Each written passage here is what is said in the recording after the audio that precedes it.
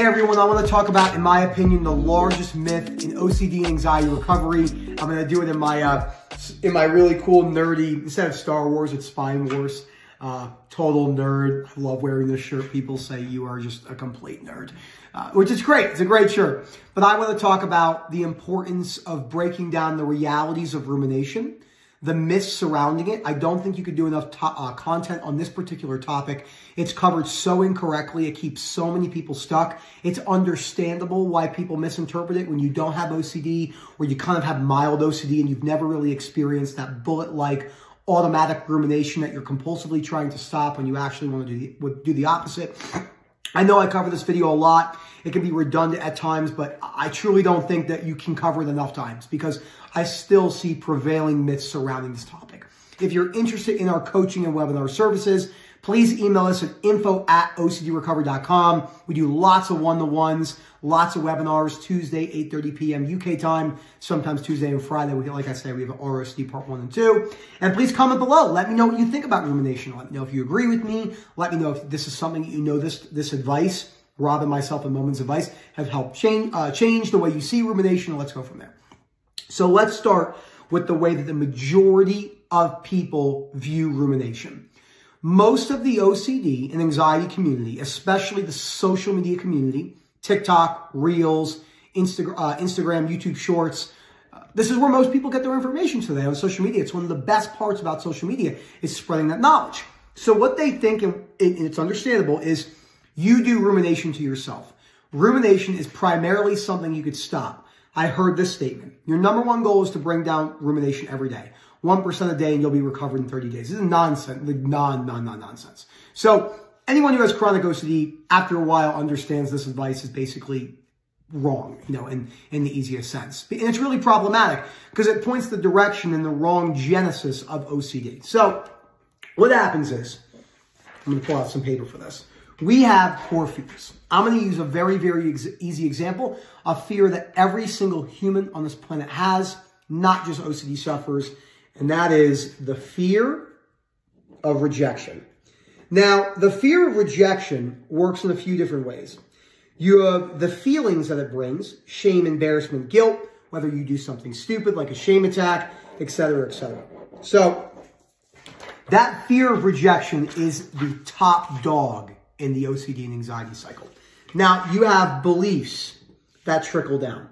Now, you have healthy beliefs, rational beliefs, open-minded, unconditional beliefs, and then you have conditional beliefs. Conditional self, conditional other, conditional life. Primarily for this one, we're going to do conditional self-acceptance, right? So, which is also called self-esteem. You want to learn more about that? The third book on our reading list, The Myth of Self-Esteem. You can find that at ocdrecovery.com underneath the resource tab. So, you have a belief. Let's say, make it very simple. Being rejected and this is exactly how my one-to-ones look.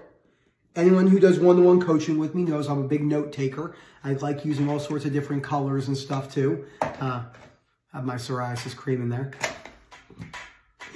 that means nothing for the video. Being rejected is 100% horrible. Okay? Let's stick with one simple belief. Being rejected is 100% horrible. Now, because you hold a fear that being rejected is 100% horrible, you are going to experience intrusive thoughts, images, sensation, urges. And for the, just for simplicity, I'm going to write intrusive XYZ. So let's go through it from the beginning. King dog, fear of being rejection, rejected. The belief being rejected is horrible or I can't stand the feeling of being rejected. Being rejected is the worst thing ever. It's terrible. This leads to intrusive thoughts, images, sensation, urges that are coming anytime, any place when you don't want them to at work, during intimacy, during vacations, etc., etc. This is primarily the rumination process. Okay? People say to me all the time, how do I stop ruminating? It feels so automatic. I know they know it. Theoretically, they say, you can't just stop this. It's so automatic. So the best example I like to use with this is let's use COVID-19. Okay? SARS. Good old COVID. Okay? Now, when you have COVID, you have a plethora of symptoms. You might have fatigue, okay, right?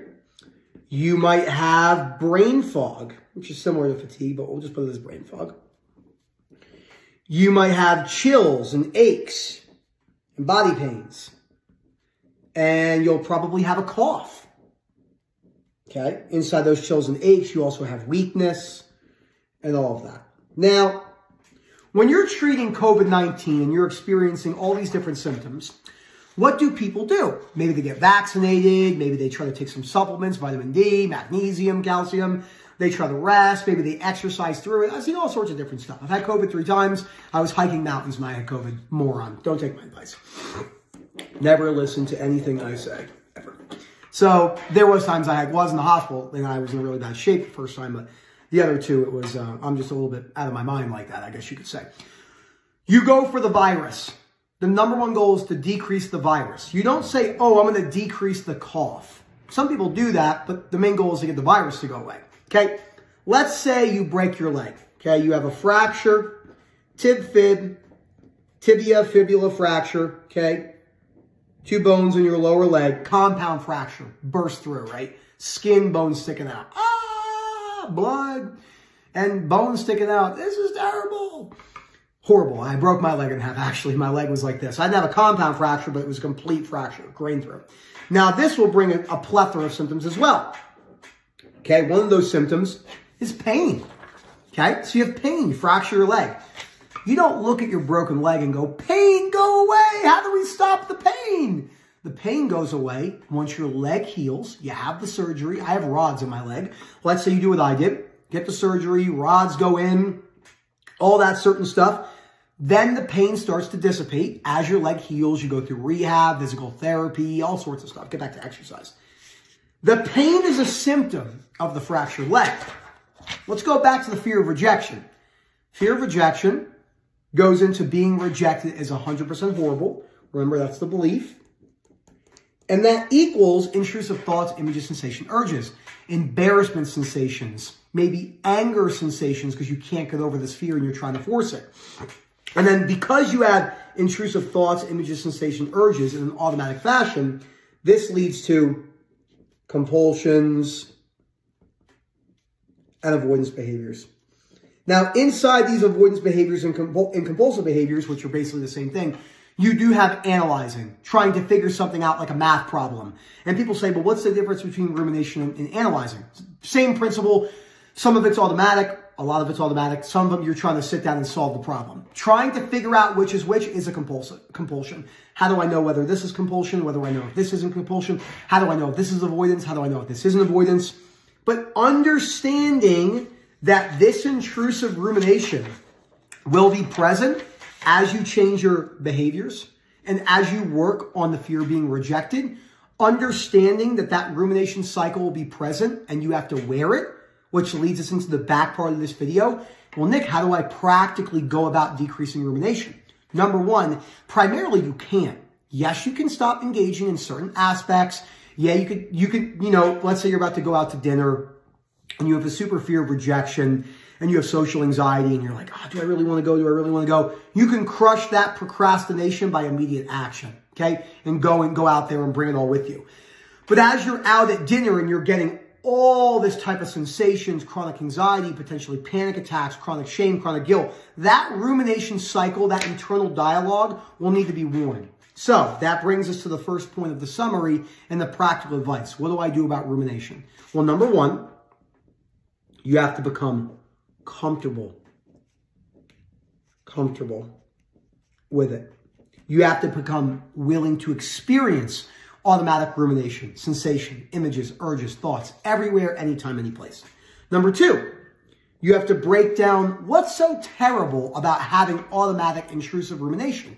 Whether it's an internal dialogue, whether it's intrusive images, during intimacy, that's a big one that affects a lot of people, especially with ROCD, POCD, harm OCD, HOCD. That's a big one for people coming in with those intrusive images. That's a rumination cycle. You can't stop that. Your brain knows you're scared. So you have to work at your worst case scenario with unconditional self, life, other acceptance. So number one is becoming comfortable with it, just like you become comfortable with it with any other sensation like anxiety and panic attacks. And then you have to break down the worst case scenario with unconditional self-life other acceptance by using this book right here, third book on the reading list as well. Again, OCDrecovery.com. Underneath the resource tab, we have a disputing sheet there. We have the reading list, teaching you how to break down beliefs. And let's jump into the final part of the video. Activating event, rumination, intrusive thoughts, images, sensation, urges. Okay? Uh, excuse me. I must not ruminate. It's absolutely terrible to ruminate. It's awful, unbearable. I can't stand it. This is so distracting. It's taking me away from the present moment. Life is not worth living. Not worth living if I can't stop ruminating, if I can't bring myself to OCD and anxiety recovery. That equals dysfunctional negative emotions and behaviors, such as avoidance, compulsive searching to relief. The compulsive search to stop ruminating is the most misinterpreted thing in OCD and anxiety recovery. It's number one. Next to exposures are the gold standard, which they're not. Exposures are very important, more so in many things. But exposures in of themselves, 99% of the time with chronic OCD will not lead to full lasting robust recovery. Unconditional self-life other acceptance is the critical aspect we need. So using that, breaking that down, this video is critical. This is the number one myth in OCD and anxiety recovery, in my opinion. You're not going to be able to just stop ruminating, etc., etc. Thank you so much for watching this video. Don't forget to break the fears down on paper. That's why I like using this to show you. I do this with everyone I work with. I enjoy it. It's fun. It makes it engaging. Webinars are a blast. We have a bunch of good ones coming up. Remember, info at OCDrecovery.com. Again, that is info at OCDrecovery.com. Hopefully we see you there soon. Again, if you want us to help you break this down, we certainly can the private coaching. Have a good one, everyone.